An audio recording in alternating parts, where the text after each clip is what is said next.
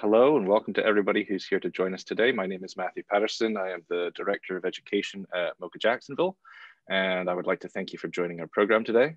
As a cultural resource of the University of North Florida, all of our programming at the museum is in support of our mission, which is the discovery, knowledge, and advancement of the art, artists, and ideas of our time. Uh, part of how we achieve that is by offering programs such as this one, which allow our audience to engage directly with artists and academics working on the edge of contemporary thought. If you enjoy this event, we hope that you will consider becoming a member of MOCA Jacksonville. Members are our biggest supporters and allow us to host free events such as this. Members also get free admission to the museum year round, special rates on other programs and classes, invitations to exclusive events, free downtown parking, and more. Uh, for more information, you can visit our website and click on the support tab, or you can send an email to moca membership at unf.edu. Of course, if you are a student or staff member of the university, you are entitled to many of these member benefits, including free admission to the museum during any of our open hours. Uh, so we will have time for questions and answers at the conclusion of today's program. If anyone in our audience has a question throughout the discussion, please feel free to enter it into the Q&A tab uh, at the top of the screen, and I will help to uh, facilitate those questions towards the conclusion. Uh, but at this point, we're going to kick off, and I would like to begin our program in, by introducing Nique McCloud, who currently serves as the president of UNF's Black Student Union, and who will be moderating today's conversation with our Project Atrium artist, Carl Joe Williams. So I'll hand it over to you, Nique. Thank you so much, Matt. Um, is it afternoon now? Good afternoon, everyone. Um, as Matt said, my name is Nique McCloud, and I serve as a Black Student Union President here at UNF. Uh, and today I will be having an amazing conversation. We just want to speak that into the atmosphere. I'll be having an amazing conversation with Mr. Carl Joe Williams that I really look forward to. So for the sake of everyone's time today, because we are so grateful that you all took some time out of your day to come hear our conversation, uh, we will jump right into it. Is that all right with you, Carl? Yeah, of course. Perfect. Perfect. So um, after doing a little research, I do see here that um, you had a New Orleans upbringing. Now I've been to New Orleans a couple times, and the culture there, the well, let me correct that, the Black culture there, um, and just the overall like being that is New Orleans is so rich with vibrance and color and just everything that you would want on a vacation or anything. Honestly, if I could live there, I would. So I just wanted to know how do you feel that your upbringing in NOLA with all of those awesome qualities um, influence your art style? Um, I think it's just kind of feast of the senses to a degree. Um, we get inundated with so many different things that that feed our senses um, in, in, terms of all the festivals, the musical uh, traditions, um, the food traditions, and all of these things just kind of come together to make an artist like myself always want to explore outside of the realm of visual work. Uh, I'm always interested in exploring other uh, elements besides just visual to incorporate into my work. So I think uh, that's an important part. I, I wound up spending quite a few years in Atlanta, Georgia, which, you know, shout out to Atlanta. Um, and I went there for college. However, even though I was doing work that was reflective of that uh, community uh, in the Black community in Atlanta, um, there was also always um, me kind of borrowing from the culture that I'm from. And now that I'm back in the area and I've been here for 10, 10 plus years now, um, I think my work is actually developing even more because of the kind of environment that I'm in. Wow. Wow, that is beautiful. Um, and Atlanta is definitely a place that I have frequented and visited, and I have to agree that hmm. uh, it, while it has a different feel, and obviously like the culture there is different, it is still very black, and it is still yeah. like the art scene there is amazing from like the different murals and um, galas that they have there, um, and even um, a few museums that I've been to there are amazing, and it's rich with hmm. culture and everything that you would ever want to encounter. So thank you so much for that. Um, and speaking, since we're on the topic of upbringing and what helped influence um, your art style, um, when did you realize that you were talented at art? Like, was it just like one, one, uh, you had some Crayolas one day and was like, wow, I'm really good at this?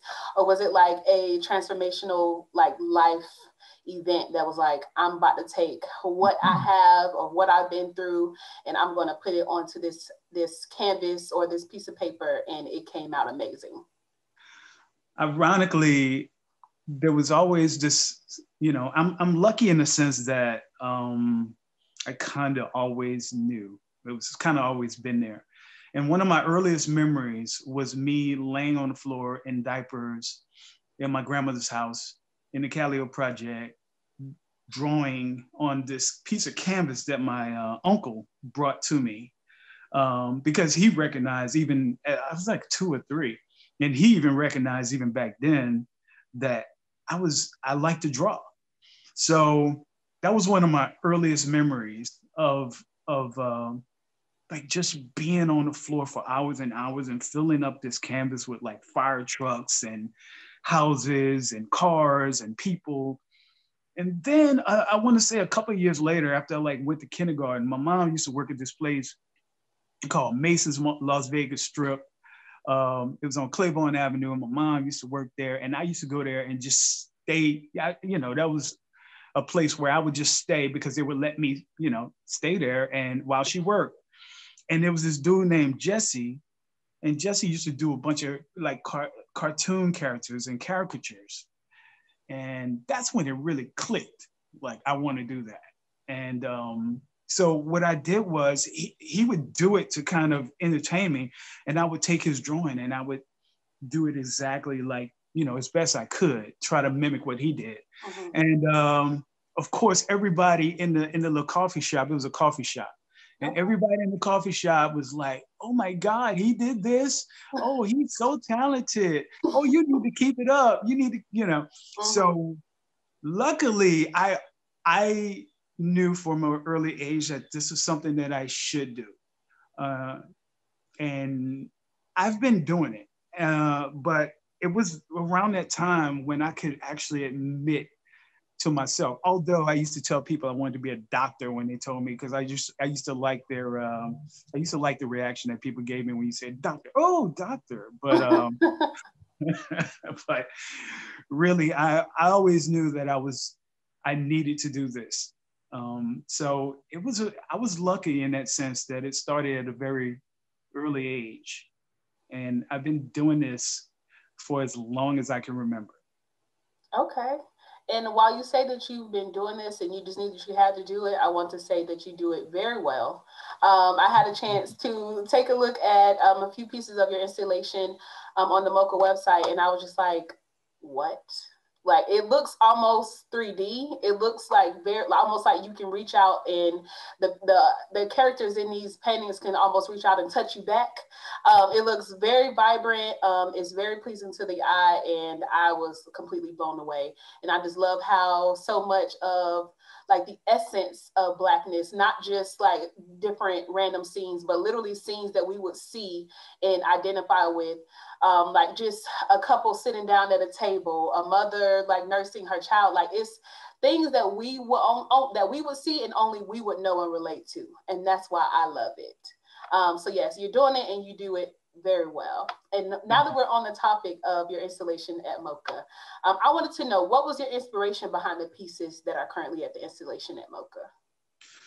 Um, well, um, it, it took a while for it to get to the point where it is. Mm-hmm. Um, you know, thinking about the space, the space is immense. It's, it's a huge space. And I knew it had to be organized in such a way.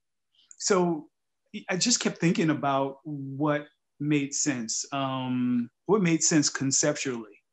Um, and so I was I was having a conversation, and this this term came up called decolonizing the mind.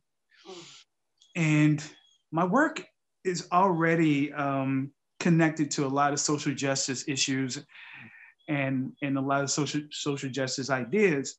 And I was thinking about decolonizing the mind and what does that mean in terms of uh, how do we, how we see ourselves, how uh, we live in this this kind of social construct of, of race, and it it it destroys people. It destroys people. It takes lives. And I was thinking about all of these things while I was trying to conceptualize uh, this work of art, and the idea came to me to create a conversation um, and create a conversation that was kind of based in this idea of decolonizing the mind. Now, I'm not a psychiatrist or a psychologist. However, I'm very interested in human nature and how the mind works and how humanity has gotten to the place that it is and how people in this country have gotten to the place that we're in. So that was, I guess, one of the core ideas that I kind of wrestled with. Um, how how does one do this? And I know just in terms of dealing with the space, I knew that what kinds of things at the very bottom floor, those things had to be way more engaging than what was on the second level and, bu- and above. So I had to just kind of work that out in my mind. And, and I kept thinking about it.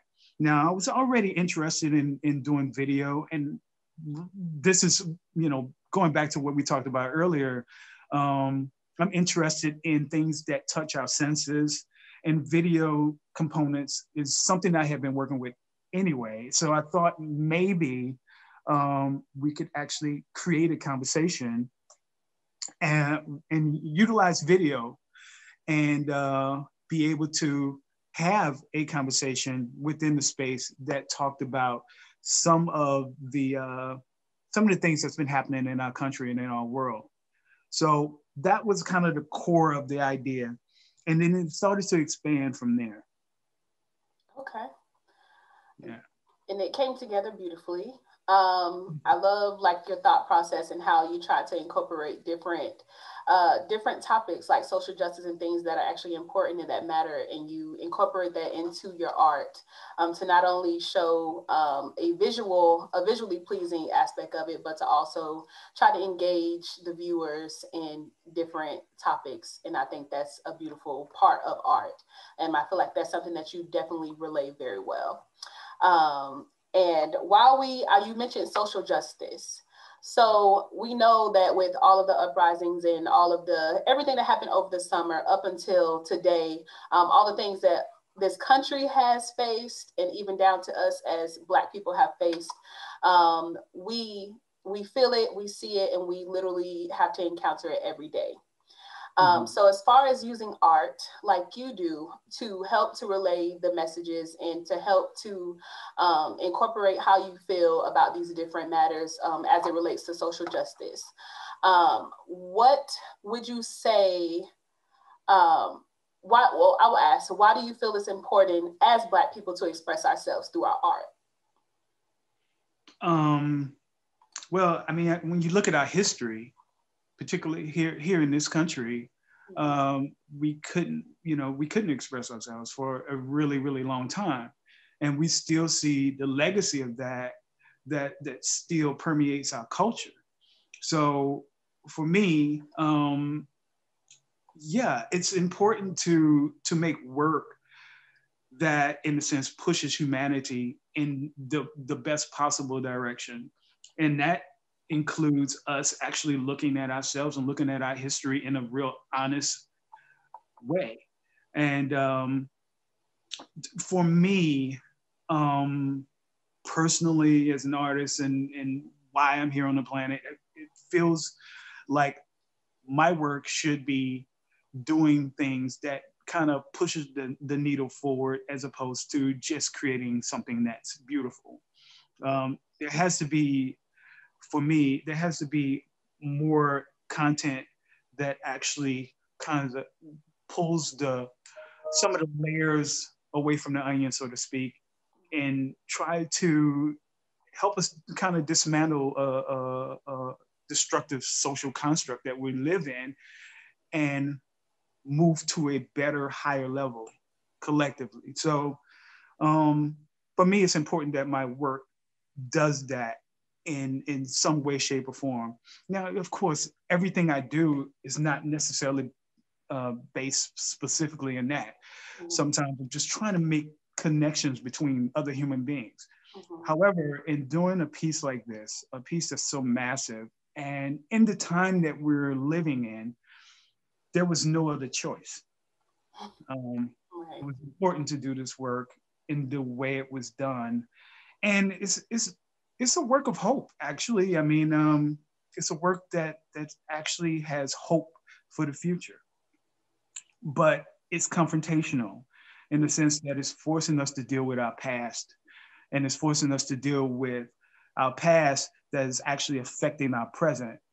And um, you know, I, I, had done a bunch of research. I I have a you know, I, I love to uh, work while I listen to books on on audio. Mm-hmm. Uh, you know, and that's kind of one of the things. And um, one of the uh, books that really helped to shape the piece and some of the ideas in the piece was a book called Caste um, by Isabel Wilkerson. And uh, I I love that book. Actually, I love her as a writer. I mean, she also did another book uh, called um, God, I'm I'm I'm blanking out on it. But she um, that book was amazing and it really kind of informed the work and the kind of direction that I was going in. And it actually breaks uh, American history down into a caste system. Hmm. And it looks at it more as a caste system than than a, a racial hierarchy. You know, it looks at it more as a human hierarchy. And so it's really, it was a really interesting uh, read and um, it actually informed the work in a very real way. So um, it's important that that we as uh, as artists in general um, be making work that actually kind of moves the needle forward to a to a better humanity, you know. So that's that's um, you know my job in a sense. That's what I see you know. Okay. Now I have since this is a conversation, I feel like it's only right that we get to know. I, I know a lot about you that I found online, but it's only right that we get to know each other, right? So um, I have to say, I'm not a visual artist by any means. I could probably draw you a little bird with lines or something, maybe, but nothing too in depth when it comes to actually, you know, drawing or anything of that nature. But I love to cook, and I've been cooking since I was like eight. I worked as a personal chef for a while, and I always get the question, "What is your favorite dish to make?" Ooh. And my answer is always, I don't have one because you know with cooking that's my art so that's when i and a lot of people find cooking stressful but i find it to be very stress relieving um, because i can mm-hmm. really get into it like you say i either put on like a podcast or maybe even like a, a hulu show and literally just mm-hmm. let it play in the background as i kind of zone out and i get into my art i use my different seasonings depending on what i'm making to help really encapsulate the flavor that i want for that dish right, right. so i know this is a hard question but I have to ask is there like a one piece or I'll even because I know saying one piece is maybe harder than than anything but is there either one piece or one installation that you would say that you blew you know how you have like those those pieces or those pieces of art where you like dang I even blew myself away. Like I wasn't even expecting it to come out this good but it's good. Like this is probably some of the best that I've done, and I wasn't even expecting it to be this good. Do you have any pieces or installations that you can like pinpoint and say, you know what, this one was one that I didn't expect to be this good, but it came out amazing, and it's probably one of my proudest works.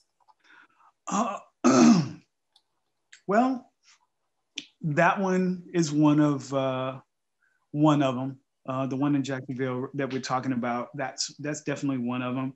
Okay. And it's partly because of the fact that uh, the space allows for so much that you can do with it. Okay. Um, but yeah, I mean, I have I have a, quite a few paintings that I, I think are pretty good. Um, you know, and there's some other pieces like um, I have been doing some some works with old televisions, and I would take the televisions and find video from old black TV shows and remix them and and just just really kind of uh, exploring. But um, I guess it's important for me to just feel good about the work that I do. So the majority of the work that I've done, I feel pretty good about. Okay. So, and I definitely think that the one um, in Jacksonville, the, the one that I, I, I, worked on for maybe a year and a half, um, man, it had a lot of moving parts and they had a lot of things to figure out about it. And because it was so massive, I, I feel like it, it came out pretty good considering the fact that it was so many moving parts and so many things to think about. Um, but yeah, it, it worked out. And I, I like to cook too, but I, I just. I've been real busy. So that's another thing. I feel like, like they say, you make time for what you for what you love. So right. I, I, tend to make time, but I do feel you. Sometimes it's, it's definitely uh, pop it in the microwave and let it do what it do type of night. yeah, but I, I used to. Uh, I, I consider myself one of those people that, um, you know, I'm a, like a true creative. Like mm. everything that I'm that's creative, I tend to be pretty good at. So I was actually, I'm actually a pretty good cook you know. Okay. So I got that. okay. Listen, one day I might have to hit you up like, hey, call. where's the jambalaya at? Okay, because I, I could feel it in my soul that you can make this um, awesome jambalaya. Yeah, I do, I do jambalaya. I could do gumbo. I'm a, I can make a good pot of gumbo. You know, and gumbo's not, you know. Listen, um, you know what is it? USPS they ship, and I'm pretty sure if you pack, package it up really nice, yes, um, it will travel well. Um, that's that's all. I'm, I'm just leave it out there. I'm just leave that out. but um, on to my next question. It's actually a quote. Okay. That I found that was very interesting, and I wanted to get a little bit more insight into what exactly the background to this quote was. Um, so the quote is, "I tend to think about my work like painting things that you can't see. I think about water, for instance. There's water in the air. What is it doing? How does it function? And what would it what would it look like if you could actually see it? Now, this brings me back to the comment that you made about like engaging the senses um, mm-hmm. with your art in all of the different ways. So that's what this quote made me think of. So could you go into a little bit more detail about what you meant by this quote or what, mm. you know, thought process went into this quote? Um, yeah, absolutely. Um, and I've said I've said this before. Um, I feel like my my spiritual life uh, kind of goes right along with with with my work, and it, they, they kind of mirror each other. So in that sense, um, I'm always thinking about things like that. Like when I'm working on images, um, I tend to think about those things that can't be seen that I can paint in. Um, and be able to see uh, the, the invisible world or even the invisible world that I'm actually imagining because we only can see so much.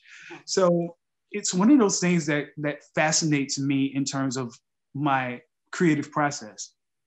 And so I use my imagination to imagine a lot of things that may or may not be there, but actually have it incorporated into my work as you know solid visual objects or, or solid visual uh, entities. So that's kind of where it comes from. It's, it comes from my imagination and it comes from the, the reality of our existence. And there's so many things that we are influenced by, but we can't see with our own two eyes. You know, sometimes we can feel it, uh, but we can't necessarily see it.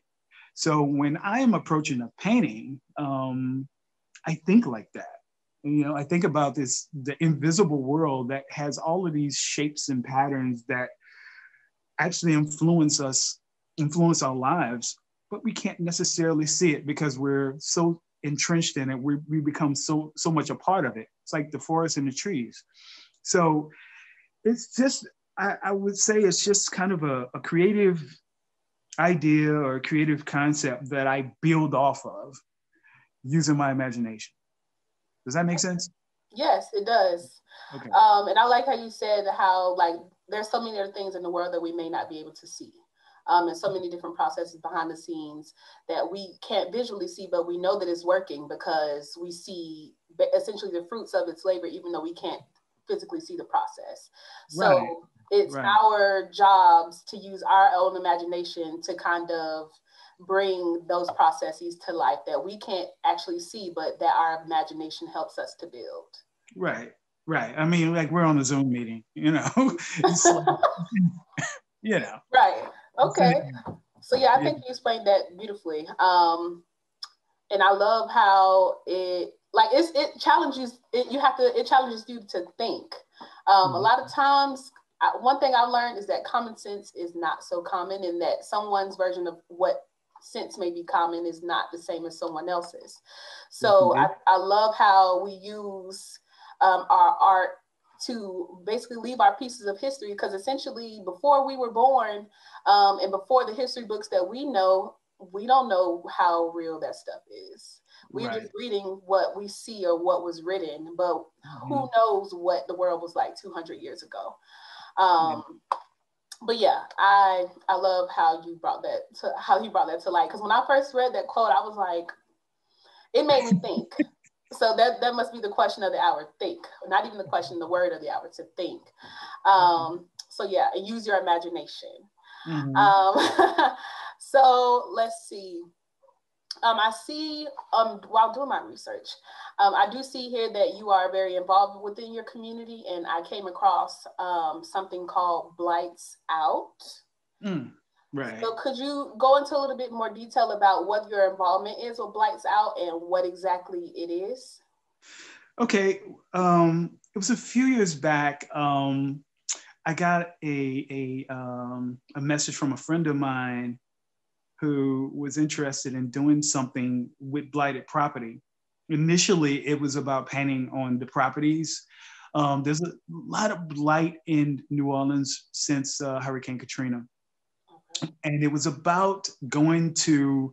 And I'm uh, sorry, I'm sorry. Could you go? Could you tell us what blight is for those who may not know? Oh, blight is just basically abandoned houses in neighborhoods, okay. houses that are boarded up, uh, houses that uh, attract um, quote unquote crime and drugs. Um, so it's basically blighted property, uh, you know, unoccupied property, unkept property. Um, and so there was a lot of blight in New Orleans, particularly after Hurricane Katrina. Mm-hmm. And a friend of mine uh, had an organization that he asked me if I would be interested in being a part of. And uh, I, I wasn't interested in it in that way. Um, I was actually interested in doing things to help refurbish those properties and, and trying to create some kind of space for, for the community um, which it, it got to be really interesting because I like emailed somebody. There's a, a biennial that comes here every few years uh, called uh, Prospect, Prospect uh, New Orleans, which is basically a huge art exhibition.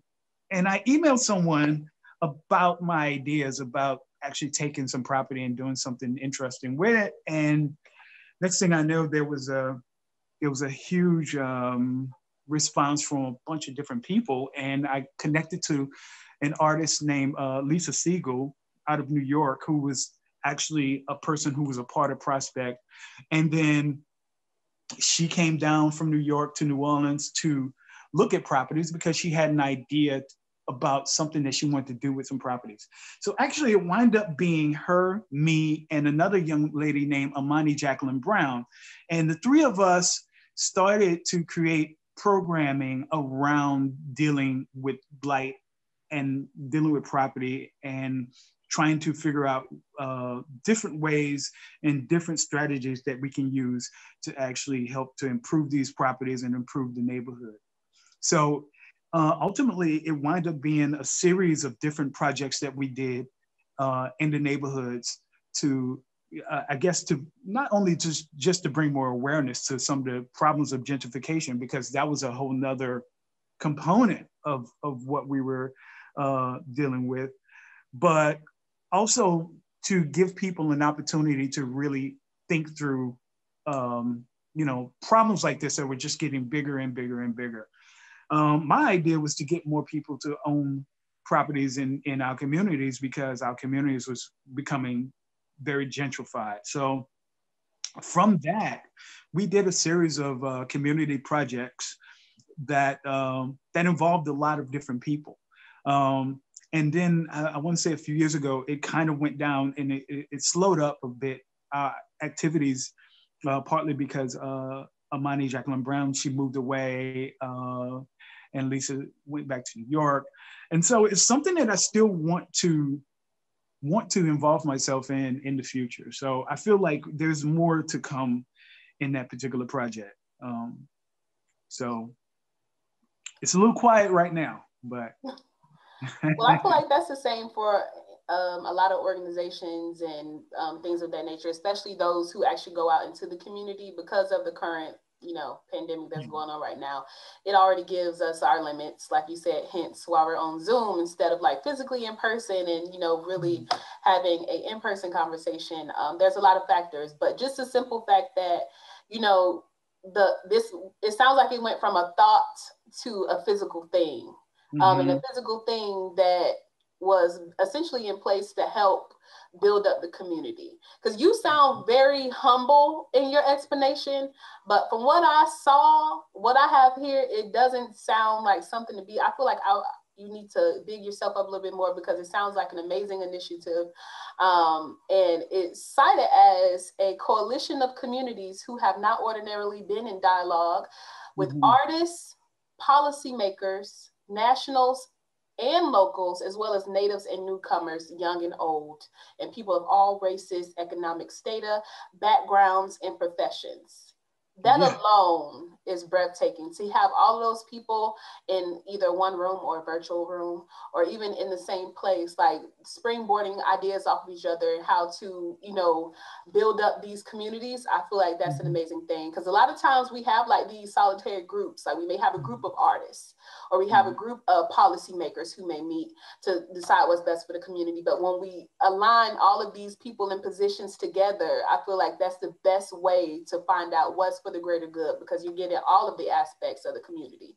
You're getting the yeah. people who may be on the lower spectrum of lower spectrum of the income of the income bracket, and some people who are on the higher. And you have some mm-hmm. people who are in within the schools who see what the kids deal with every day and then you have the people who deal with the different policy make policymakers and um, say judges and politicians and things of that nature so i feel like with that full scope of how people identify within the community. Um, it's an amazing initiative, and I really hope that you all are able to get the, get back on the ground running and continue it because it's an amazing, amazing um, initiative, and I, I, I feel like you should be a little less humble about it because it's great.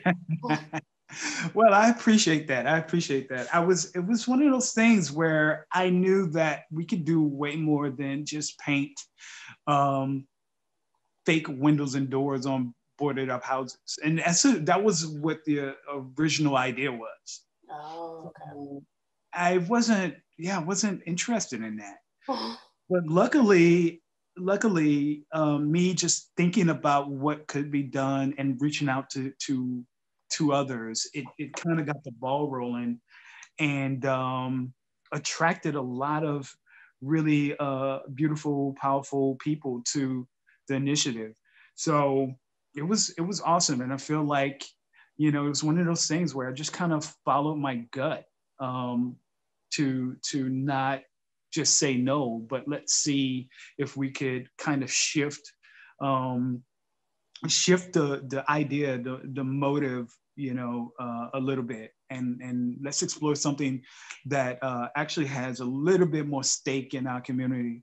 Um, I mean, beautification, uh, beautification is fine. It, I mean, it has its place. Um, however, it wasn't necessarily for me. Um, I wanted to see more done with, with with some work like that, and I feel like it's it's uh, important for artists to be able to be involved in those kinds of processes. Um, yeah, it was it was new for me, but you know, it was definitely eye opening, and I learned a lot from that the, that whole uh, organization and, and some of the things that we worked on and did. However, there's still a lot more work to do, still a lot more work. So I appreciate it. Yeah. no problem. And I feel like, like, like you said, it's a lot more work to do, and that's in every aspect. I feel like whenever we reach a point of accomplishment where we tackle one goal, or we tackle one event, or we tackle, you know, one initiative, it, we always feel like, okay, what's next? There's right. always work to be done. So long as we are here on this earth, we always have work to be done. But Absolutely. it's also important for us to recognize and congratulate ourselves, even if no one else is, for even the small wins that we have, right? Absolutely. Absolutely. Yes. So um, I have two more questions for you. Um, the last one is, is I feel like it's fun, so I'll keep that one for the end.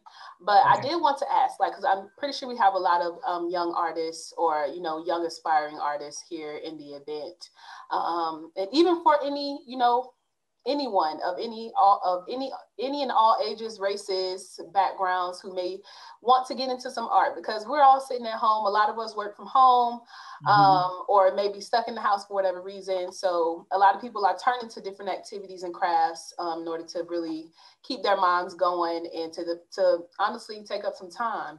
Um, so for those who may be interested in getting into art but may feel like may either be uninspired or um, discouraged. Maybe they try art before and you know have a passion for it, but don't really like how you know the results are coming out. Uh, mm-hmm. What would mm-hmm. you say to those people um, who may be uninspired or discouraged um, as far as like continuing on with their art journey? Hmm. Um, that's a good question. Um, being discouraged, my God, encouraging yourself is it, it's a skill to a certain extent.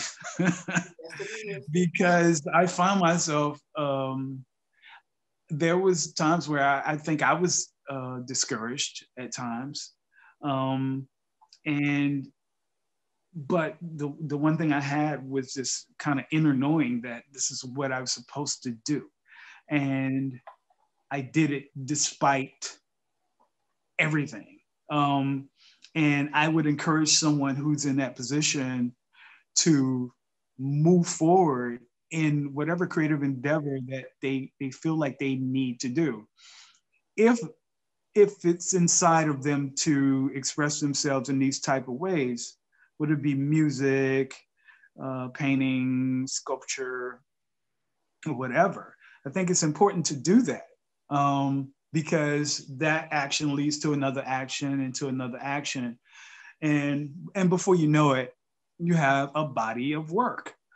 So I would say get good at figuring out how to encourage yourself.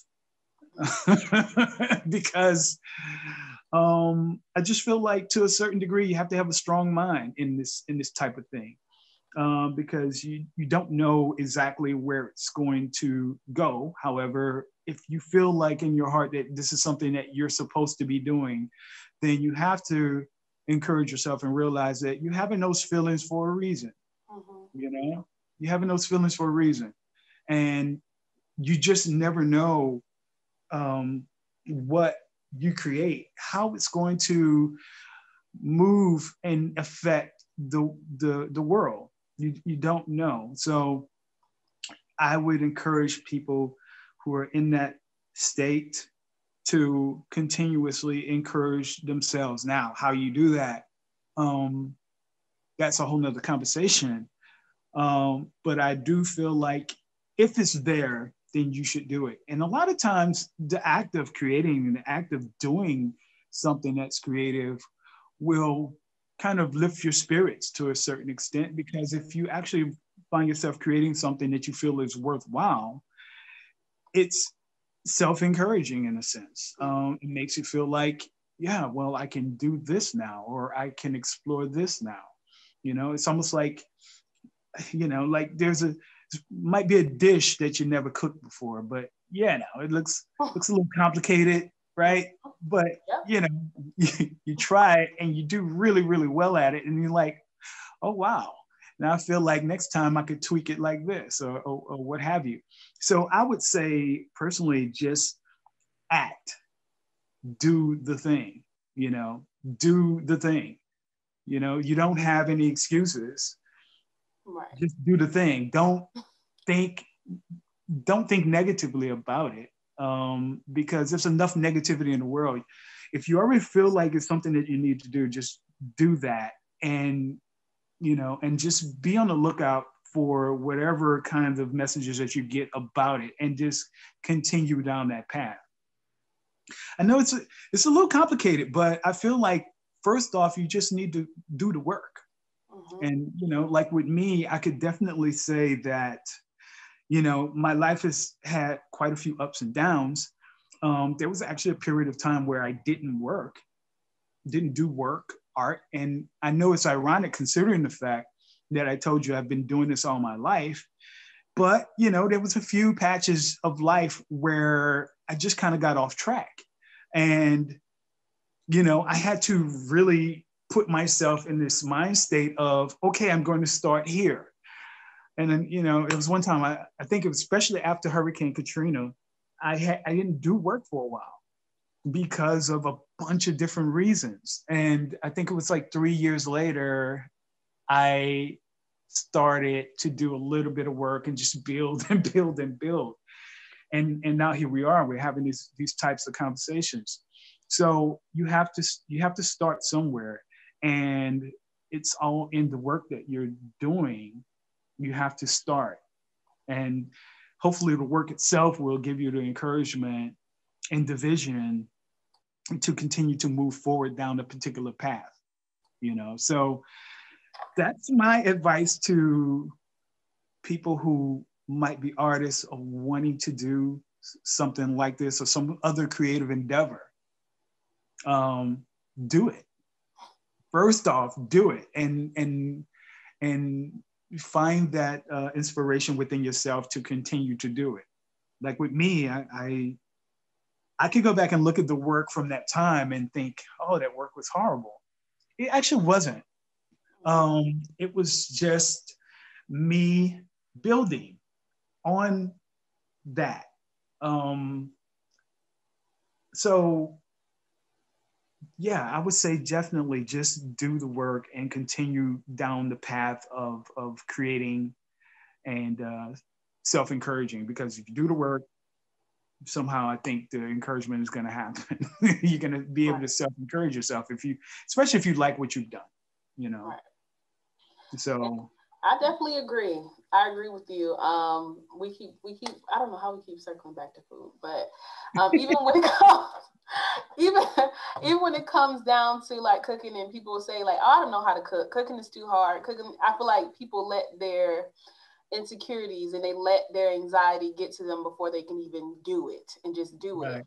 Um, so I feel like if you have something that you want to get into, especially if it's art based, that should be something that is like your you time, like your time to lay all of the stresses of the world off and, you know, mm-hmm. fully immerse yourself in whatever art that it may be, whether it be cooking or painting or drawing or whatever form the art may be. Um, mm. Just completely immersing yourself in that and giving your time away from the world and immersing your true self into whatever art that you're doing. So yes, right. I love that explanation. It was very, very beautiful. Um, for a lot of people, not to cut you off, no, for no. a lot of people, I was just thinking about my uncle. Um, it's a piece I'm working on behind me, and uh, he was he was very um, he was an artist, and he didn't do art to sell it. He did art for therapy. Mm-hmm. You know, it was therapeutic for him, mm-hmm. and for a lot of people out there, I do believe that that might be the case. Um, it can put you in a much higher mind state sometimes to be able to to have some kind of creative expression in your life. Mm-hmm. So, I mean, you know, you might not necessarily be trying to build a career doing it, but I do I do believe that not only only are you going to benefit from it, but the people around you will ultimately benefit from it. Why? Because you're in a better place. Mm-hmm. So I would like again, I would encourage anybody who has any kind of creative impulses to go at it full speed ahead with no fear. You know. Right. And I love that last point that you made because, like you said, like once you essentially complete whatever it is, the people around you will benefit from it because you're in a better place. Um, mm-hmm. That reminds me of something that my grandmother would always say, like if we would be out at a restaurant or even at someone's house and whoever made the food is in a bad mood, my grandma would be like, nope, not eating that. I don't like that energy. like because whatever you whatever you create whatever art you create in whatever form it may be people that en- that energy transfers to people it's so you have so to be in the right headspace in order for your art to really translate to the audience it's so true like yeah if you eat eating food for somebody is who's in a negative headspace it can affect you on us on a on a level that we can't see mm-hmm. All this that we can't see. You have to use your what? Imagination. Yes, yes indeed. Listen, but it's we might as well just do a little lecture series. I think we got this. I think we got this. We UNF, hello? Anybody yes, listening? We, we could have our whole lecture series on thinking and using your imagination. Yes, um, indeed. Yes. so this is my final question. And of course it has to do with food, but it's a fun question. It's hopefully gonna make you think. All right. Uh, so in one of the organizations that I'm in here in camp on campus is called the Community Alliance for Student Success. Uh, Ms. Whitney Meyer, she always asks this question, like if we could basically describe ourselves in any way, like essentially what style of cake would you be and why? But for you, and I already kind of feel like I know what you're going to say, but for you, when it comes down to your art style, your overall art por- portfolio, and your whole art style and your inspiration, all of that together, if you could name one food that can uh, encompass your whole portfolio, what would it be? To see, that's gonna be hard because I feel like I'm more like a buffet. You okay. Know? I don't feel like I could be one food. I feel like I'm a, I'm a buffet okay. of foods that all go very well together. Okay. I don't know how else to tell you. I mean, I can't say it's going to be jambalaya. I can't say it's going to be, you know, uh, uh, sandwiches and omelets or whatever. I, I just feel like it will be multiple portions of different things that all really work very well together. Mm-hmm. So, yeah, it's hard for me to narrow it down to one one culinary experience. Okay. You know? Because there's so many different yeah there's so many different things that i'm into mm-hmm. uh, creatively. Um I, I, mean i used to write poetry. Wow. You know? Like I, I, have i have my like i have a, a history of working with rappers and singers. I make beats. I organize music. I what videos. I, I mean, that's that's what I mean. It's it's like a lot of times I'll bring all of these things together. My work has always been based in painting and, and, and visual art, but I've always had interests outside of that. That's why, you know, earlier I talked about the senses and, and kind of uh, working from that headspace of dealing with different parts of our senses and bringing those ideas into the work. And so it's really hard for me to narrow it down to one food. You know, I mean, I don't know, beans and rice, red beans and rice with with fried chicken and cornbread. Okay. Look, that's a whole range right there. That's a whole plate. See, I personally thought that you were that you were going to say gumbo, considering the fact that gumbo has so many different components into it, down to like what is it, the gumbo filet that you have to put in it to um to thicken it up uh, that, and then if you have like the shrimp and the okra and the tomatoes and the onions, or what is it, the um, Holy Trinity, that, that's a whole. No tomatoes. No tomatoes. no tomatoes. Don't do the tomatoes. okay. Could, okay, so no tomatoes, but I throw tomatoes but um, yeah, you have the okra, and you know, some people do like chicken and shrimp with you know so many different components. I feel like if I had to answer, gumbo would probably be mine, simply because um, if I go deeper into it, mainly because not only does it have a lot of like ingredients, but all of the spices that go into it too. I feel like for me, um, like you said, I do a lot of things in the realm of art. So mm-hmm. for me, I feel like the components of gumbo, especially if it's spicy, because mm-hmm. you got the savory, you got the spicy, you got the umami, and then you have like the different textures and mm-hmm. flavors, mm-hmm. and it's just like a big pot of so many different things. Right. And I feel like gumbo would be it for me because it's like one bowl of so many different things, so many different textures and flavors. Um, and I feel like my artistic style is complex in that way. Um, yeah. Whether, you know, I think See, that's what I thought you were. That's what I thought you were going to say. I thought you were going to beat me to it, but you're a buffet, so you have a lot more.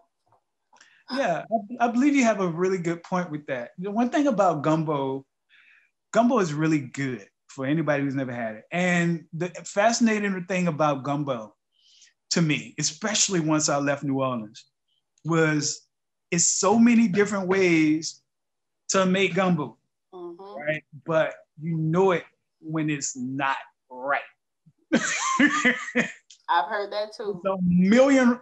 It's just like a million ways. I mean, I've I've heard of duck gumbo, chicken gumbo, seafood gumbo, po man's gumbo, you know, gumbo with like just vegetables, which actually I've never had.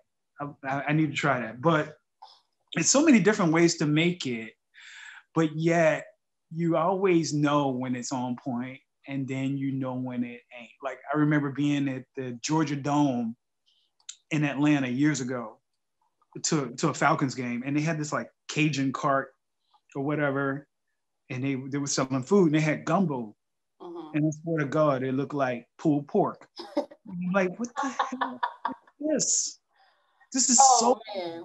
But you know, of course, I mean, they were giving samples, and I had to try it, and it was just like, it was like more like beef and gravy, and it was just odd. It was so odd. But anyway, that sounds very fascinating odd. thing about gumbo is the fact that there's so many different ways to make it, mm-hmm. but you know when it ain't right. Mm-hmm.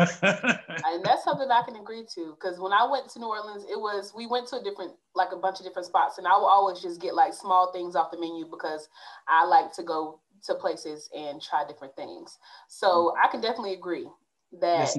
some places are better than others, even when it comes down to well. Honestly, I feel like Cafe Du Monde is like the only place that you can go get beignets from, or that you should get beignets from in New Orleans, unless it's like some little mom and pop that you can put me on to right, better. Right, Yeah, there used to be another spot, uh, but it, it's shut down. Actually, yeah, I, Cafe Du Monde is like the main place I go to now because the other spot has closed down. It used to be open like all night long, so you could go there at like four in the morning and get beignets. I used to love them. But um, yeah, there's a place here in town called Little Dizzy's, which is one of my favorite restaurants. If you ever hear, go um, I think they might be closed because of COVID, but I'm not sure. But it's one of my favorite neighborhood spots. The food is freaking amazing. That's all I got to say. So this is okay. Yeah, I'm about to say we need probably need to shut this down because now all I can think of is um, what is it? The the oysters Rockefeller from Acme Oyster House. Um, and now it's time for lunch for me because I'm just anytime I think of New Orleans, I just get hungry. But um, yes, that was all of the questions that I had for you today. Um, okay. I really thoroughly enjoyed this conversation. Um, and I believe we have a few questions in the Q&A. Um, and at this time, anyone in the room, if you want to submit your questions in the Q&A feature, um, we can read those off before we hop out of here today. Yeah, so we've got uh, some comments and some questions here that I will uh, go through for, for Nique and for Carl. Uh, first question uh, from Larry reads, who are the top three inspirational artists that have influenced you? Hmm, good question. Um, I will have to say, well, my mentor uh, a man named John Scott, who kind of took me under his wing when I was about 15 years old. I went to a uh, New Orleans Center for Creative Arts, which is an arts high school here in, in New Orleans. And uh, he came by and he saw my work and and uh, asked the principal and my, my parents if I could come over for a couple of days a week. And and, and uh, he was the first African American artist that I ever spent time with. And uh, sometimes it would just be me and him. He'd be working on a maquette for a sculpture, and I'd be over in the corner doing an assignment that he gave me. And uh, I wind up leaving and going to, to, to Atlanta. Um, and then years passed by and then he passed away. But that time was so valuable to me, so valuable. And uh, he's he's a he was a great great artist. He was over the the uh, Xavier uh, art department. He was the head of the Xavier, uh, Xavier University art department, which is a, a historically black college. Okay, so he's number one. He also won the MacArthur Genius Award back in the 90s. So he was huge, huge influence on me. Uh, Kerry James Marshall. Um, Kerry James Marshall, um, his work blew me away. Um, I, I, discovered his work uh, right when I was in that in between stage of not doing work. Um, you know, I wasn't producing work. I was just kind of working a job, taking care of my my kids, wife, and and all of that and stuff. And uh, I was in between a whole lot in my life, and I was in the library and I ran across his book, and it just blew my mind. Um, and Theaster Gates, I would say, for some of the, the his socially uh, engaged work, some of the works that, he, that he's done, um, more interested in his social practice work. Um, and it was some of the some of his work actually inspired uh, the Blights Out uh, program that that uh, we started. So I, I, could say those three were very um, instrumental in me in the artist that I'm, you know, have become and you know evolving into. So, but yeah, John Scott, Kerry James Marshall, Theaster Gates. There's a there's a bunch of others, but uh, those are the ones that come to mind right away. Willie Birch. Uh, Willie Birch is a important role model for me. He's an artist that still lives here in New Orleans. Well, he lived in New York for many many years, but uh, he he's another artist. Uh, Lin Emery uh, is another artist who's a very you know influential um, kind of a mentor to me. I consider myself as an artist that has a lot of mentors. Um, and it doesn't necessarily mean I've, I've met them all. Um, but uh, John Scott, definitely, uh, Willie Birch, um, Gates. Uh, I love what he's, he's been doing outside of the realm of making visual art, but actually doing things in, in his community. Um, it's another artist out in, in, in Houston, Texas. God, I can't, I'm having a brain freeze on that. Um, but yeah, those those are the ones that are coming to mind off the top of my head. So yeah. That's great. Carl, we've got another question for you in here. It reads, uh, do you think that your confidence affects your work, not only in how you see it, but the quality itself? Mm, yeah, I think confidence can affect everything. Um, but it's interesting because I'm, when it comes to my work, I'm extremely confident about it. And I've always been like that. I, I, I think it has to do with the fact that I've been doing it for a really long time. Um, I've had experiences as a growing up, uh, being in classes with other artists and being in art classes.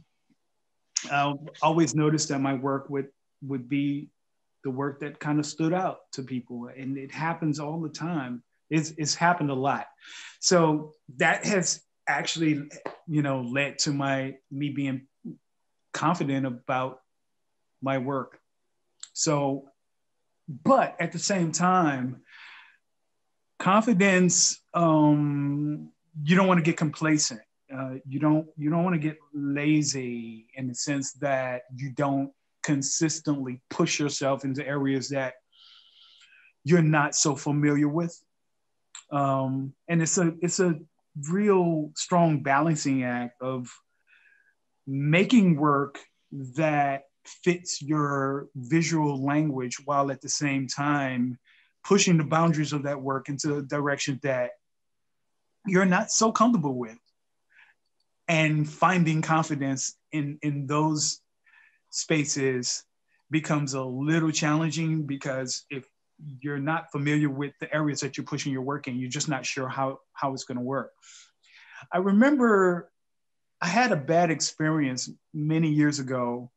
Um, I was working in Atlanta, and it was um, it was about this time where I had a, a bunch of projects going on at, at one time, and I decided I didn't have a whole lot of time to do this work, and I decided to do something really, really different. And the gallery saw it, and they were like, "What the hell is this?" And it was so different from what I normally do. And even the uh, local critic had come in to do a kind of a preview of the show, and just was like, "What the hell is this?" so I was like and the and the gallerist who who was uh who ran the gallery like literally canceled the show because they didn't like the work and I go back and look at the work. I, I wind up doing images of work. And actually, it was one of those low points in life where I was just like really embarrassed by it. And I go back and look at that work and think to myself, you know, it was a lesson in not ever taking such a radical turn um, in my work, um, but maybe experimenting a little bit and moving in a direction in a more calculated fashion. Um, yeah, it was one of those experiences that taught me a lot. I mean, it was embarrassing at the time, but now it's just it just kind of serves me as a, a lesson of how to do that, like how to move into areas that you're not so comfortable in and do well without completely throwing people off. You know, it's like speaking English and then starting to speak a language that nobody's familiar with, you know? So, yeah, that's, uh, you know, confidence does make a difference, but you also have to um, kind of temper that with uh, being able to uh, not do too much to the point where people won't be able to understand what you're trying to do. So, I hope that makes sense. Yeah, absolutely. Um, I don't see any other questions in the Q&A function. There's some nice um, feedback there and comments. Um, just thanking you both for the conversation. Um, I do have a question though. Carl, could you talk a little bit uh, before we wrap up about the hashtag campaign that you were working on with uh, MoCA and how folks can uh, participate? Oh yeah, absolutely. Um, initially, when I was conceptualizing the work at the in the atrium, um, my thoughts was this is a conversation that should not be um, only contained in the gallery space. I felt like it should be something that's out in the world. And the only way I can think to do that was through some kind of hashtag campaign. So, what I would like to do is open it up to the general public to be able to talk about the American dream in the sense of um, what does the American dream mean to you? Uh, how how does your family's economic legacy affect your view of the American dream? Questions like that. And I would like people to actually contribute to the hashtag campaign um, through video by just literally, you know, getting on camera and stating uh, their answers and putting the, the uh, question in the title and using the hashtags to be a, a part of the conversation. And also for people who are not so um, comfortable with video, I've opened it up to spoken word artists and rappers and and just really trying to kind of um, really kind of level the playing field in how many different ways that one can express these ideas.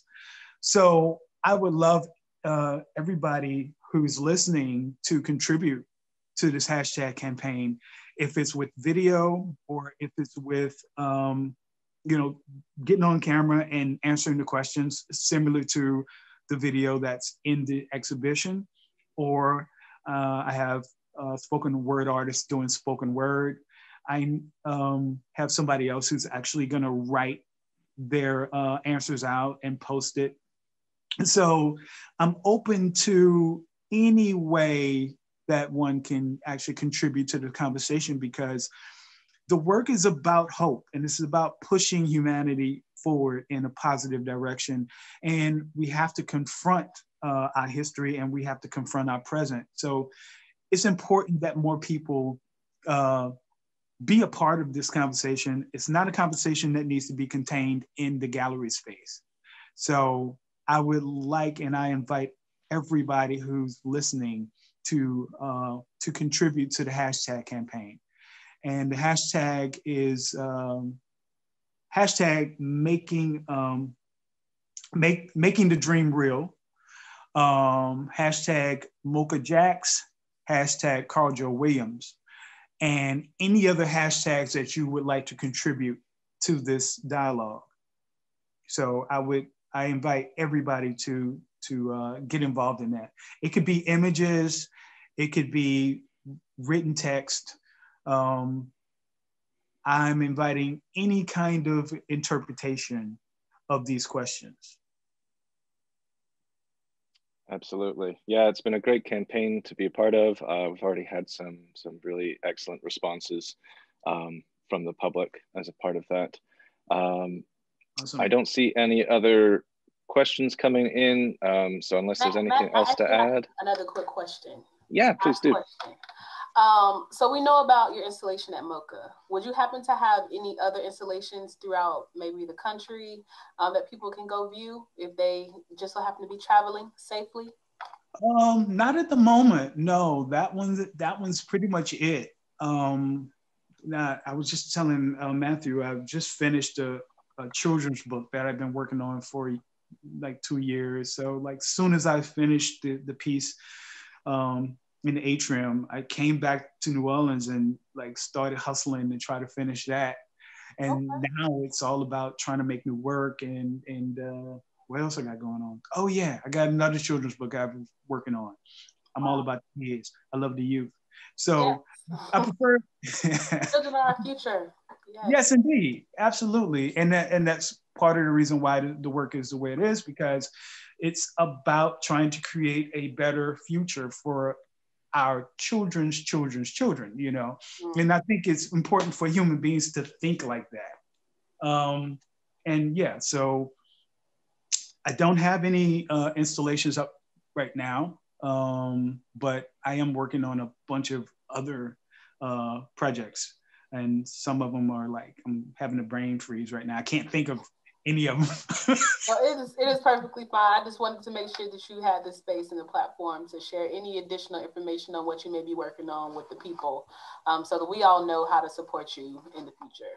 Yeah, it's probably going to come to me as soon as we get off, but at the top of my head, I can't think of anything. Okay. Well, guys, I think that that's probably a good note to end on. This has been a really terrific conversation. I want to thank Carl for joining us uh, for this, and very big thank you to Nique for organizing and leading this conversation as part of uh, UNF's Black History Month celebration. Um, I do encourage everybody who's on the call today to um, visit the museum if you're able to, and to see Carl's exhibition in person. It's going to be up with us um, until March 21st. We are open during the week, uh, Tuesday through Sunday, and we do have tours of the museum on Saturday afternoons at 3 p.m., which also visits the, the exhibition. Um, and all that information is available on our website at mocajacksonville.unf.edu. Um, again, I want to thank you for joining us. And uh, unless there's any last comments, we will go ahead and, and wrap up there. I appreciate y'all for having me. Thanks for all the questions. I appreciate it.